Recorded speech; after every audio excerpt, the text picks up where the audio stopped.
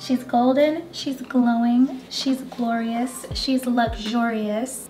Gotta give a little bit of shoulder action every now and then, okay? Hi you guys, it's Saina and welcome to my brand new YouTube channel. I'm so excited to finally be here filming my very first video for you guys. I've wanted to do this for quite some time now, so I can't express how wonderful it feels to finally be here. And I thought for my very first video, it would only be fitting to take you through this very simple, beginner-friendly makeup look that is this lovely golden half-cut crease. Whether you're going out on the town, whether you have a nice little photo shoot and you're just taking pictures, or if you just want to sit around your house and play dress up, that's fine too. Like this look can be used for whatever occasion. There are no rules when it comes to what you want to use your makeup for. I think anyone can do it. You can even add your own creativity and your own spin on it, which is why I love looks like this so much. Gold is like my go-to color with everything. See like my earrings are gold, my necklaces are gold, my rings are gold. I just love the way gold looks with brown skin. Brown skin girls. Okay, so keep watching to get all the deets on how I created this look. Here we go.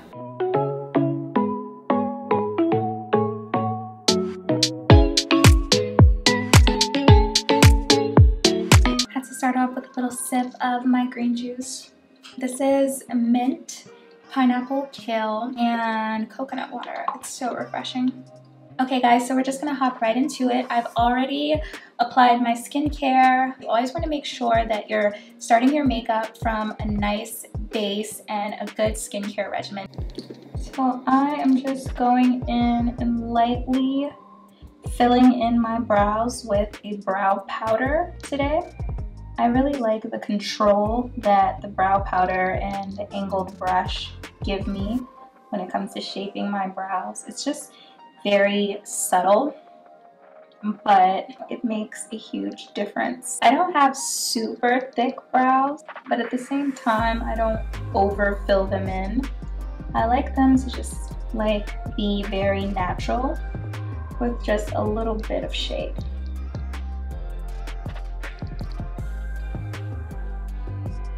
Just want to get the primer nicely covering the entire lid that nice smooth base. I'm going to resume with eyeshadow and I'm going in with this transition color. It is the Sweet Potato Mango shade from the Coloured Raine Juicy Boost palette. So I am just tapping my fluffy blending brush into that color and sweeping it in the crease of my eye.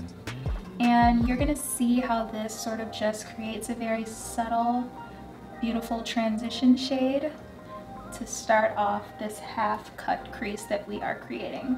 Okay, so next I'm going in with a brown shade that is a little bit deeper and this shade is from my Tarteist Pro To Go palette by Tarte. I love these little palettes. They are amazing for travel. They're super compact and just great to grab when you are on the go. And I'm gonna be using the shade Stylin, and I'm basically gonna use this to deepen up my crease. So I'm just going in right in the middle. This is going to help to define the cut crease a little more.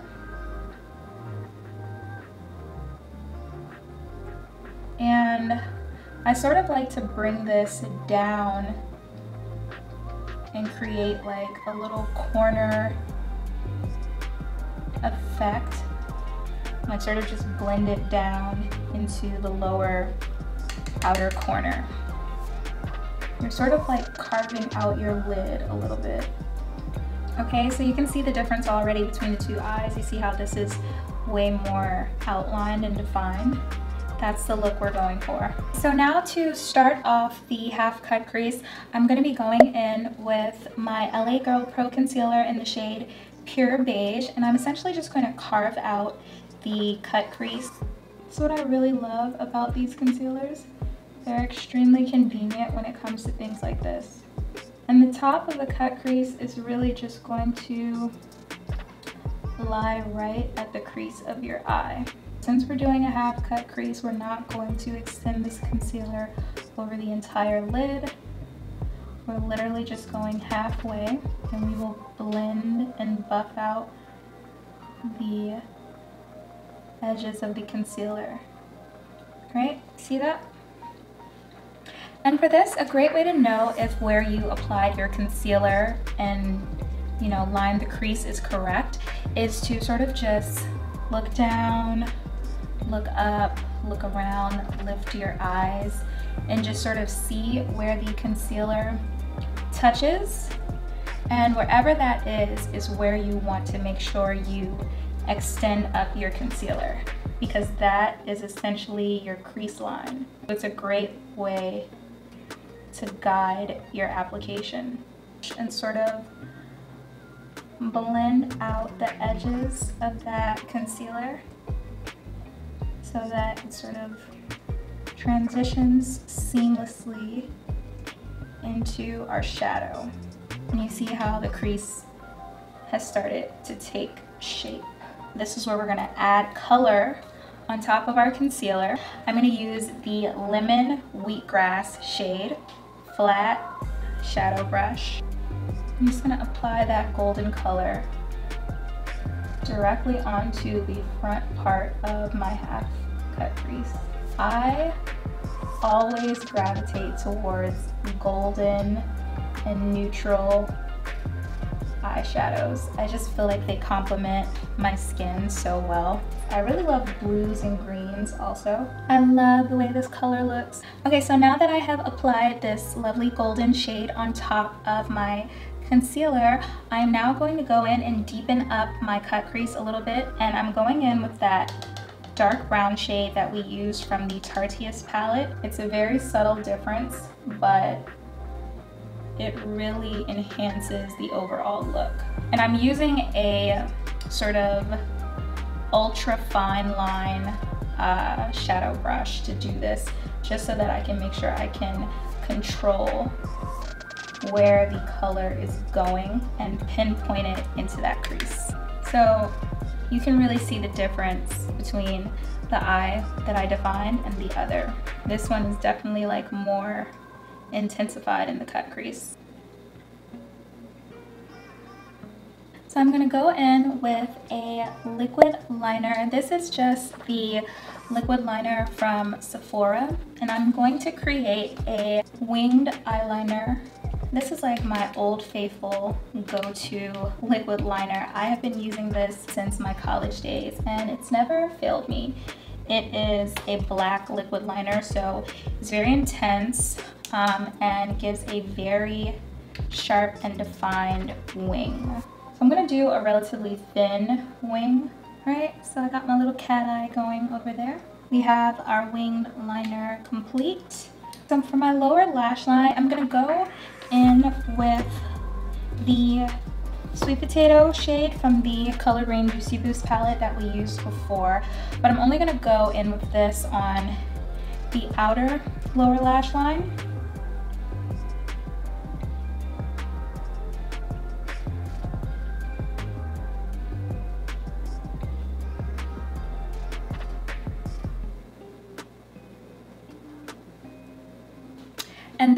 The inner lower lash line, I am going to go in with Cucumber Avocado from the Juicy Boost palette. And I think it's gonna add a nice little pop of color to my lower lash line. I always like to add a little touch of color wherever I can because I think it just does something, just makes it a little bit more dynamic.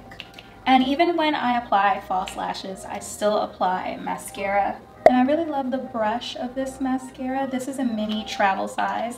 I have so many travel size products because I just love being able to grab certain mini things because I travel a lot back and forth between the East Coast and the West Coast to see my family. So, so many of my makeup products are just convenient and travel size.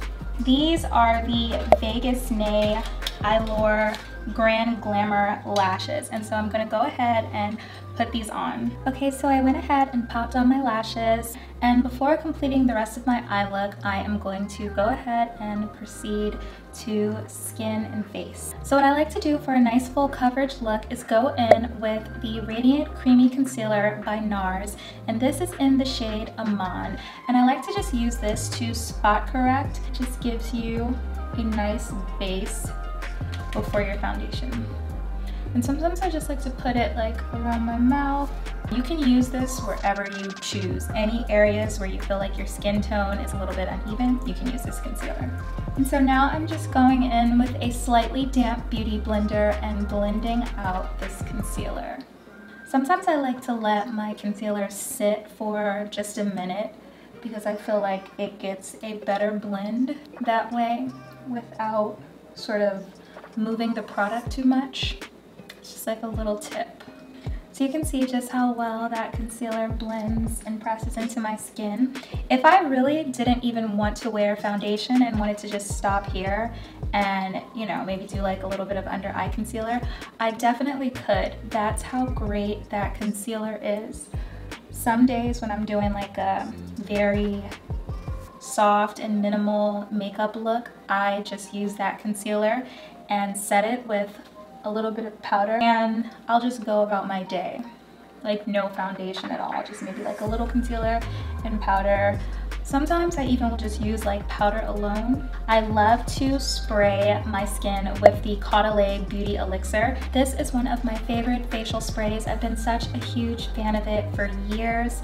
I use it on days when I'm not doing makeup at all, sometimes in my skincare routine, but definitely in my makeup, I find that it gives me such a smooth finish if I spray it in between concealer and after foundation. I love the results that this gives me. And I simply love the smell of it. It is vegan, cruelty-free, natural, and it smells heavenly, you guys. This product smells so amazing. It contains organic essential oils. It has mint, rosemary, and rose extracts. It's sort of just like a toning astringent that's very therapeutic and you will love it. So I just like to shake it up before I use it because the essential oils, because it doesn't have any chemical emulsifiers in it, they sort of have a tendency to separate. So you just want to give it a nice little shake before you spray it and hold it at a distance.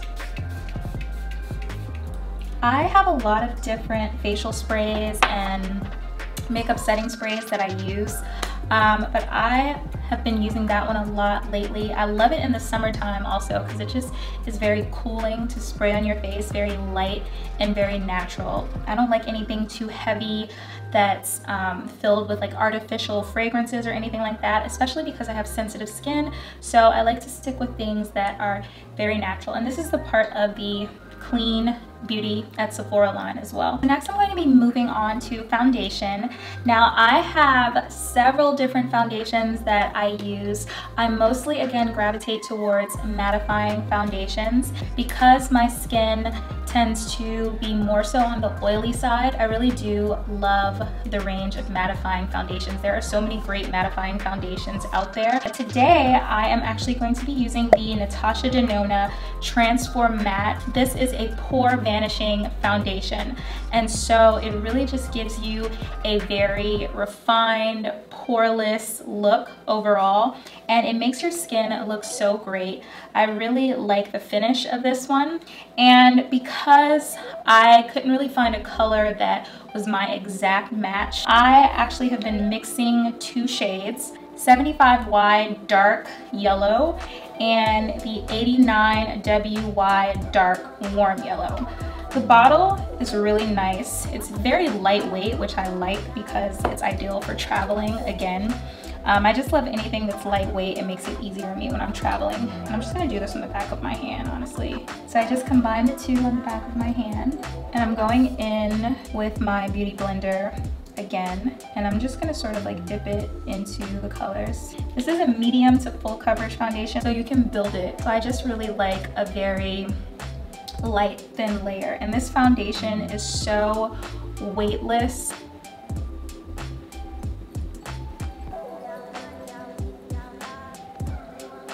So as you can see, everything is very consistent with my skin tone. So again, I'm going to do another spray of my Caudalie Beauty Elixir. And this just really helps to melt your makeup along the way while you're doing it, as opposed to just doing a couple sprays at the end over top of everything. This kind of helps to melt and blend your makeup in layers and provide a very smooth refined finish. So that's why I do it like that in layers. Okay, so next we're gonna be moving on to highlighting and contouring. I love to go in again with my Radiant Creamy Concealers from NARS. I love the way they blend under the eyes. So for my under eye, I actually like to mix two shades, Caramel medium dark 2 and medium dark 1.5 Sucre D'orge. I go in first with the caramel because this is of the two, um, the darkest one to provide the brightness you need under your eyes. And so I'm taking that same shade and I am going to just highlight above my lip, create like a little square, and my chin, and lastly my forehead.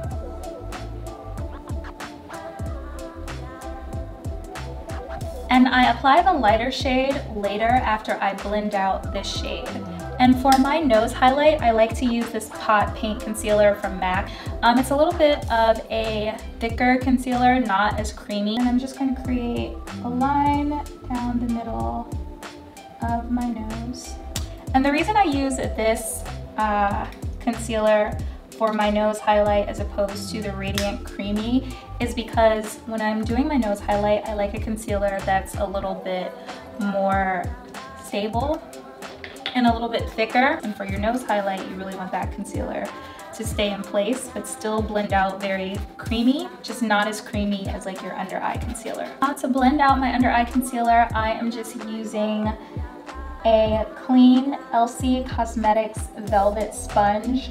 So this is actually the top portion of the entire sponge. The sponge is much bigger, but I actually wound up splitting it in half. This top portion is really great for getting in the very precise inner corner of your eye. And the bottom portion of the sponge, which is right here, is larger and more round, and this is great for like all over the face. And when you're blending, you just sort of bring that concealer in closer to your nose. This is sort of creating the natural nose highlight and contour without having to do too much additional work. I don't like to use um, contour color on my nose too often, but I find that when I just bring my concealer in slightly closer, you don't really need to. It naturally just contours the nose. And so before I blend in the other highlighted areas, I'm actually going to go back in with that second NARS concealer that I showed you that's slightly lighter. It's a little bit of additional brightness because I love a nice bright under eye.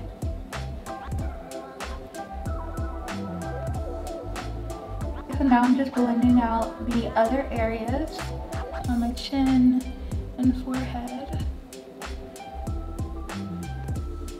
So for my nose, today I'm gonna use my thin brush.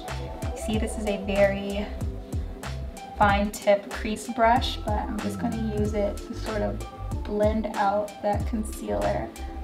And sometimes I still, even after blending with that brush, just like to go and tap this product in lightly with my finger creates a very natural sort of blend. Sometimes the brush diffuses the product a little bit too much, but the fingertips are a great little substitute. Okay, so for my contour, today I'm going to be using a cream contour. And again, this is another area where I really just alternate based on how I'm feeling and you know, the look I'm trying to achieve. I don't always use a cream contour. Sometimes I only just use like a powder. But today I'm gonna use a cream contour and set it with a powder. So this is actually an Hourglass foundation stick in the shade Chestnut. So I love this because it's super creamy and it blends very well. So you only need a very little bit of this, like a little bit of product goes such a long way. I just put it right sort of like underneath the cheeks, like literally that much. It blends out so well. You just don't need a lot. Taking another clean beauty blender and I'm just blending that out. You see that? I probably could have used even less, honestly, but I like to just bring it up and bring it down to sort of like create the shadow. And that's why I don't always go in with the product just like ham all around my face and forehead and all that. Now I'll just add a little bit right at the jawline and blend. So you can see my shadows are very, very subtle. Key is just to blend this really well. So again, a beauty elixir. I am going in now with my setting powder to set my highlight. I have several different setting powders that I alternate between the Laura Mercier translucent setting powder in the shade Honey as like an all over translucent powder.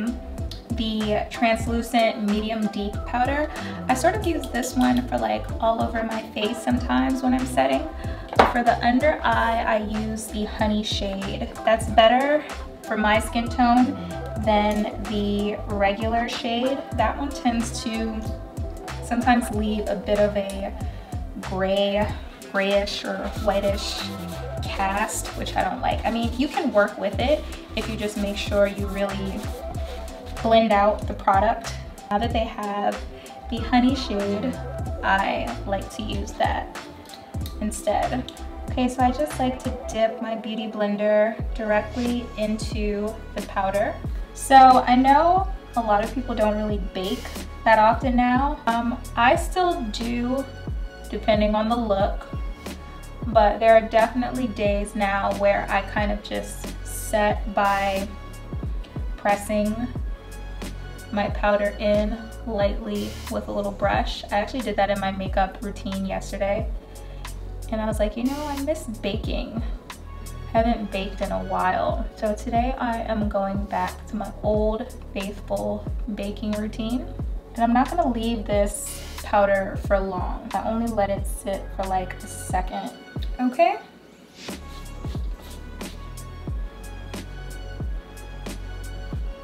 And, I'm just highlighting this area. I can blend it out later.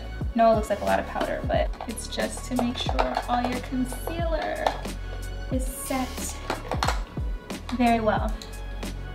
So I'm gonna go ahead and apply my contour shade into the hollows of my cheeks. I am using Fenty Beauty in the shade Coco Naughty.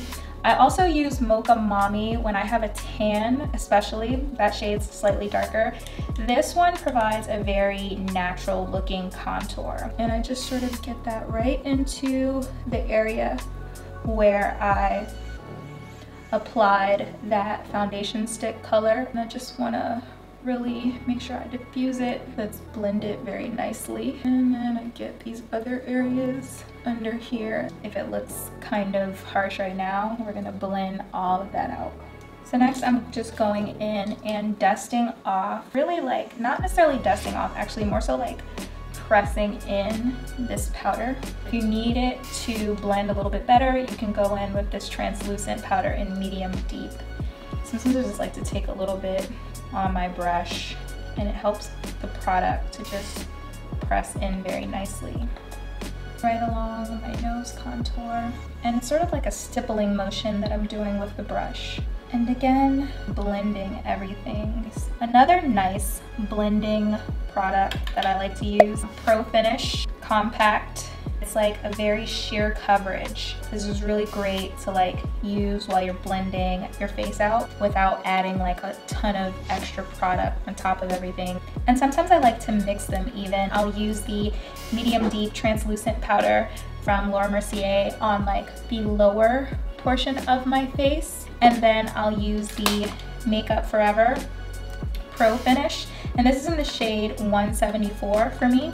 I'll use this on the upper portion of my face, like around my under eye. So you can see how everything is really just taking shape and blending together. Blend, blend, blend, blend, blend. When you're in doubt, blend some more. oh, and this brush, this is a Pro airbrush number 55 from Sephora. It's so soft and doing exactly what it says, creating like that airbrushed effect. So you guys see how that blended out so nicely? Ooh, just quality blending. So for my lower lash line, sometimes I just like to add a white liner to the waterline. I find that it just makes my eyes sort of pop, white liner. Okay, so then I go in with my mascara again and apply it to my lower lashes. And I'm going back into my Coloured Raine Juicy Boost palette, Coconut Water, which is sort of this creamy white shade. I'm using this very thin little brush. It's great for getting precisely into that inner corner. Tapping the shade right in there, very subtle. So our look is almost done. I really love to mix my highlights. So the two that I'm gonna mix today are both MAC Gold Deposit, which has been an old faithful of mine, and Soft and Gentle. So I'm gonna mix these two highlights and I love the effect that they create. Gold Deposit I think is so beautiful and it's just like a very golden, shimmery, lovely highlight. It's one of my favorites. Soft and Gentle is a little bit more pink and silvery, which is why I really love to layer this one with Gold Deposit. I think together they create some beautiful highlight combinations. Once again, spray my face. The thing about the Beauty Elixir also is that it just absorbs into the skin so quickly. I barely even need to use my fan. That just sort of like melts into the skin. I really think it's like the peppermint element and just going lightly over my cheeks here with gold deposit in such a beautiful shade. I spray before highlighter and after highlighter and I find that that gives me beautiful results. For my nose, I'm taking a very fine tip brush again. I don't highlight the entire bridge of my nose, I just go at the tip and then right between the eyes. And so then I go in and layer with Soft and Gentle and then layer on my cheeks. And then to create a nice brow bone highlight, I like to take Soft and Gentle with a very small brush and just go in right at my brow bone.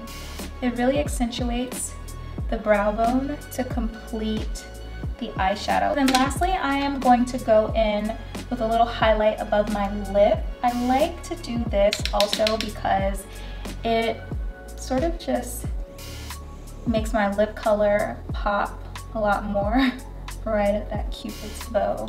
See how that just accentuates like the top of your lip? And so it's just a nice little glossy pink lip. I'm going to go change my outfit. Okay guys, so this is my finished look of this beautiful golden half cut crease. She's giving golden, she's giving sparkly. What I love about this look is that not only is it a nice matte finish that isn't dry, but I just have zero pores. Like the finish from this foundation and then my setting spray just left my skin like I'm talking completely poreless you guys. I really have no pores whatsoever.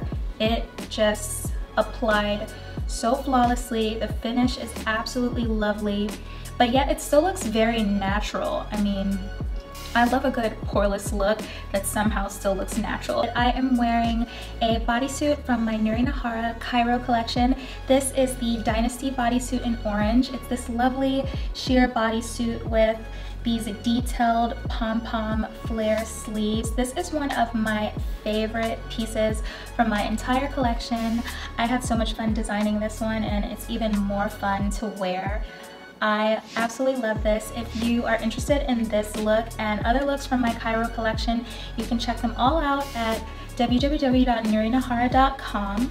My earrings are also from my recent Earthly Oasis collection. They have this geometric golden detail and they're just the perfect little touch of gold to complement the entire look. So I loved filming this video for you guys and I hope that you found it helpful and enjoyed watching it. I can't wait to do more videos like this. So thank you so much again for watching and I will see you next time. Bye bye.